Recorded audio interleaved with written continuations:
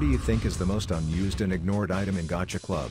According to the research, the Looney hat is the most ignored item in Gacha Club. The research says 99.9% of Gacha Club player will ignore this item.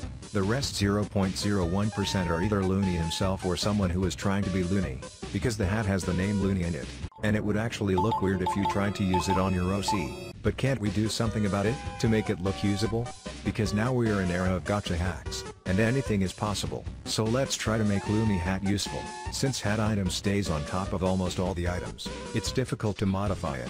Only accessories top can overturn it. What if we do this? Now this item doesn't completely erase it, let's try other items until we find our match.